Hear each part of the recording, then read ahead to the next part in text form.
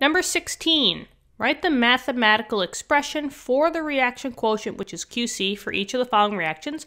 And then we have this reaction right here. So we have to write the QC for N2O4 gas, which comes to equilibrium with 2NO2 gas. The QC formula is a very uh, general formula, and it's this one right here. So I'm just going to put this over here.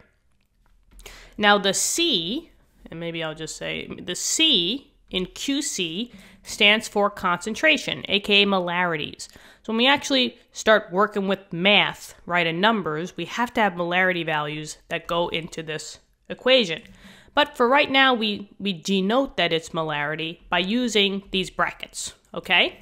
So all that it is to find a QC value, it's just your products divided by their reactants, and for each one of them, you raise it to the coefficient number, aka the big number in the front of each compound. But now you got to play by the rules. If we're using the QC formula, only aqueous and gas uh, substances are allowed. So the first thing you should do is check those states. But here, I got a gas and I got a gas.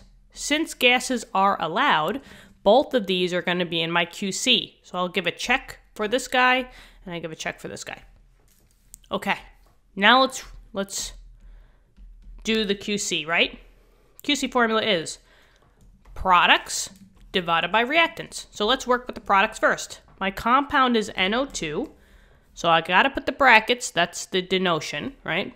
I'm gonna say NO2. When you're writing your QC formula, you don't have to say that it's a gas. So we don't write the states anymore, but I gotta raise it to its coefficient. There was a 2 in the front, so I have to raise this to the second. That's the only product. So now moving on to the reactant, I got to put the bracket. The compound was N2O4. Close the bracket. And now what's the coefficient? Well, there was nothing here, but that means that there was one, right? I only had one N2O4. So you can raise it to the first, but technically anything raised to the first is, is itself. So I don't have to do that. And there you go you're done. This is the QC formula.